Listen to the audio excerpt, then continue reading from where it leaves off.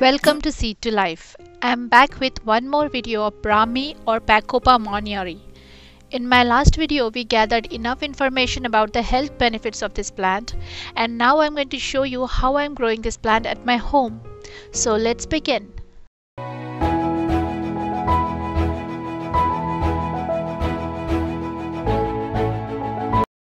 Brahmi is one of the easiest plants to grow. It is actually an aquatic or semi-aquatic plant. It grows in marshlands, near river banks or lakes, ponds and it is one of the very popular aquarium plant. In fact, the seller I purchased it from was an aquarium plant seller. The plant came beautifully packaged. The roots were secured in this rock wool. For those who don't know what rock wool is, it is actually made up of minerals and rocks pulled into fine strings. It is a popular growing media, but so far I have stuck to completely organic and minimally processed growing media like coco coir, peat moss, compost and garden soil. Rock wool absorbed water efficiently and kept the roots moist during transit. It was very easy to take out the roots because the rock wool didn't stick to the delicate roots. Brahmi plant is very delicate. The stems feel almost like thin stems of cilantro and they can easily be bruised. You can also grow Brahmi only in plain water with some added hydroponic solution or liquid fertilizers. Unlike many other plants, you can't overwater these plants and kill them. that is actually a relief. The plants can stay completely submerged in the water. If they are completely submerged, they tend to grow upright till they reach the surface of the water and then they start creeping on the surface of the water. I decided to grow these plants in a growing media and not water. You can use heavy clay type of soil to grow these plants but I have decided to take a different approach and grow them in coco coir. You must be wondering that coco coir will make the water muddy as it will float in the water. Using clay is a better choice here since clay will settle down near the bottom of the container or tank and the water would be clear. I didn't have the aquatic growing media so I just went ahead with what I had that was coco coir and also not that I was having any fish in the same vessel. So I was fine with the water getting a little bit muddy. Also, since it is still winter, I was not planning on growing these plants outside, so it was important for me to have a clean growing media. I had this beautiful fish tank gravel. After adding a layer of coco coir, I covered that with this gravel. That way the growing media stayed near the bottom and gave me a sound base to insert the plants in.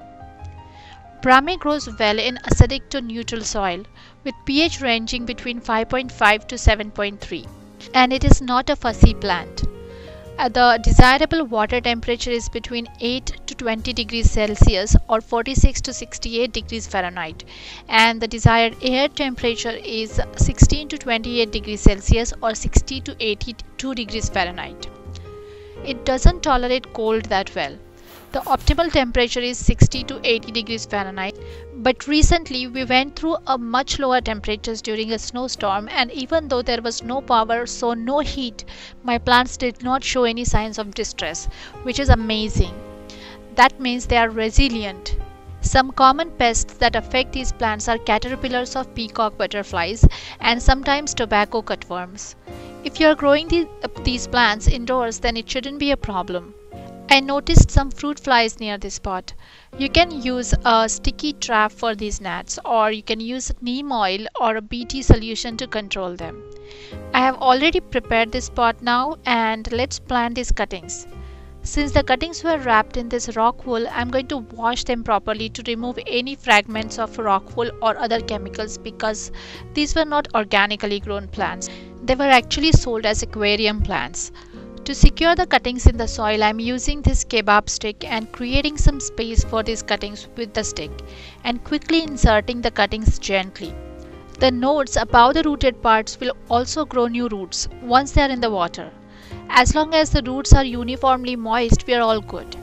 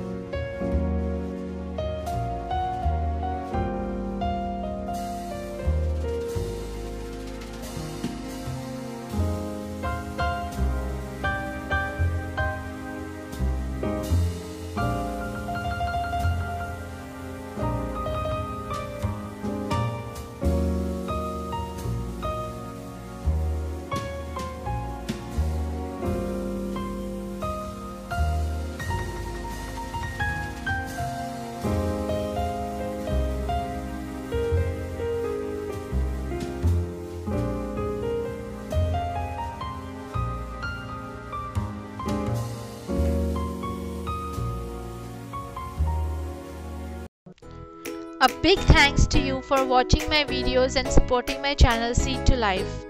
Please click subscribe for more such videos and updates. Click the bell icon to get notified about future videos and feel free to reach out to me through comments, Facebook, Twitter or Instagram if you have any questions. I am posting the links in the description.